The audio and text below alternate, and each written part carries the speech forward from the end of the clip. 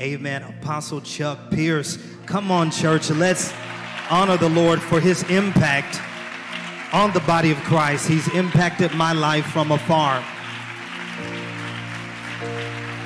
Amen. And all of the leaders and pastors and everybody that came out, uh, we can sense the glory of the Lord is already here. You know, we don't have to wait for a preacher to get up to bring the glory. The glory is in the house. Amen. Tell somebody the glory is in the house.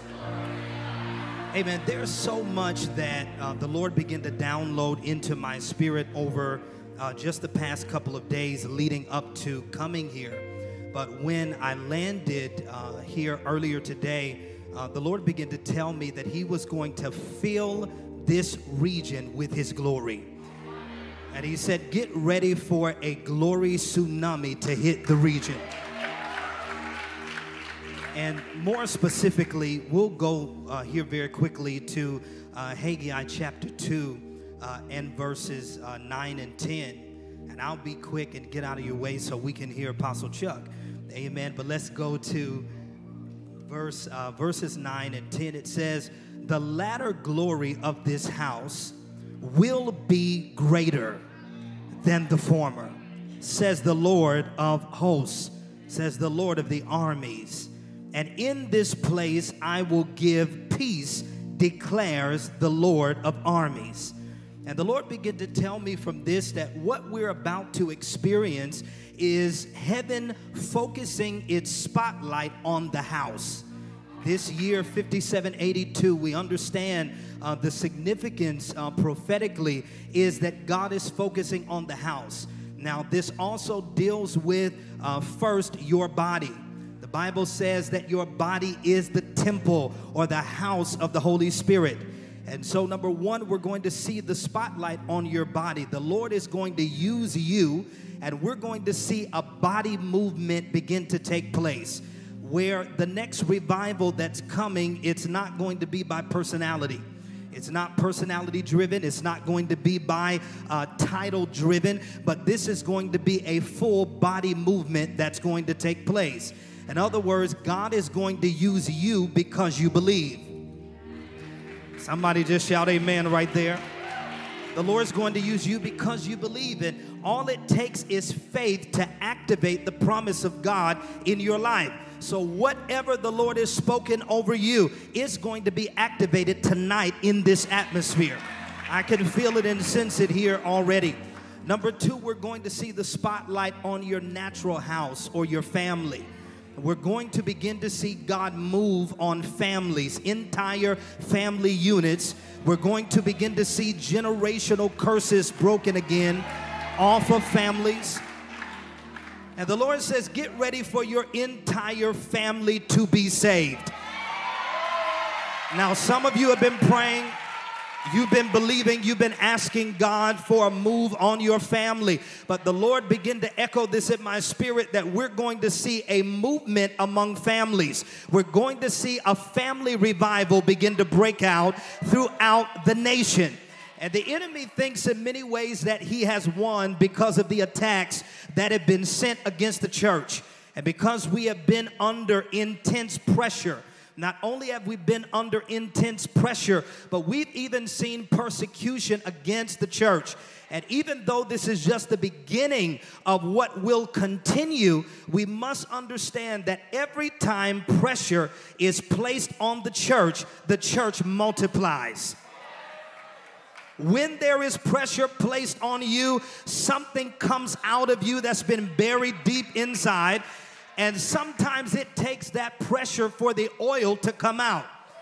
And so I believe we're going to see this oil being poured out over families. And I've been seeing it in my own family where uh, those that have been away from God for many years, and those that have been addicted to uh, drugs, and those that have been addicted to alcohol just over the past couple of years, all of a sudden we had a suddenly a season come in and the prayers that we had been praying for many years, all of a sudden they begin to manifest in our lives.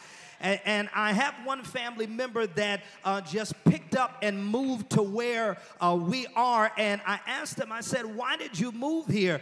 And he said, I wanted a change in my life, but I really don't know why I moved. But what he didn't understand is that the Lord had already released a prophecy concerning his life. And that prophetic word was that he was going to pick up from where he was and move to where he needed to be. And so the Lord began to do this without his knowledge. And when it happened, uh, God said to me, This is a sign that I'm bringing the prodigals back.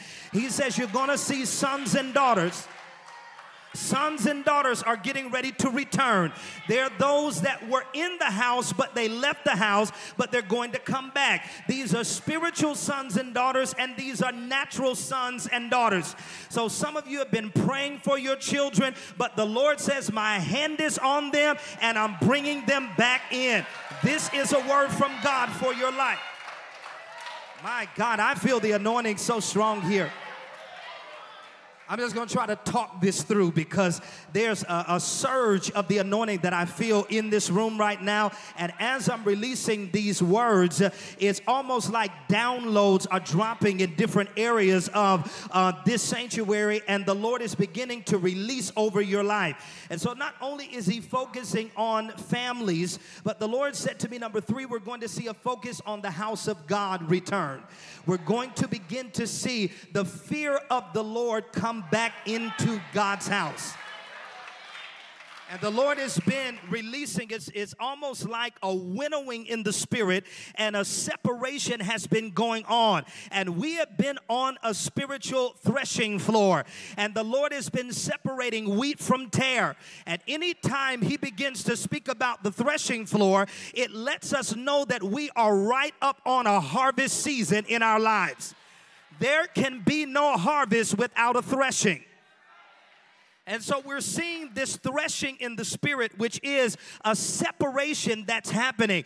Those that are of God are coming to one side, and, and those that are false, the Lord is beginning to identify that within uh, within our nation and within the church. But He's purifying the body again. He's purifying His house, and this is what we're experiencing right now. And I believe that as the Lord is beginning and continuing to purify the house, we're going to see the fire of God intensify.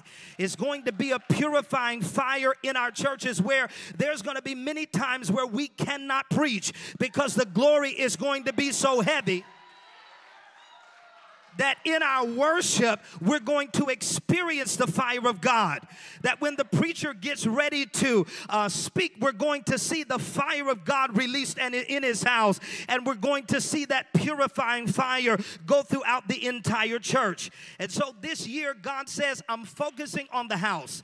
I'm now bringing uh, relationships in proper alignment. I'm bringing people into proper alignment. He says, I'm even going to restore covenants that were broken. We're going to see marriage covenants restored.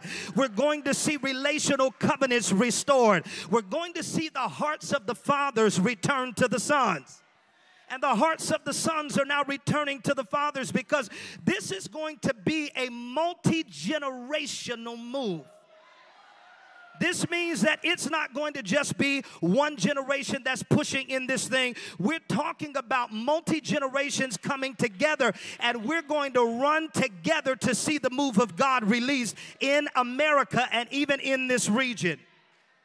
Somebody say it's a multi generational move.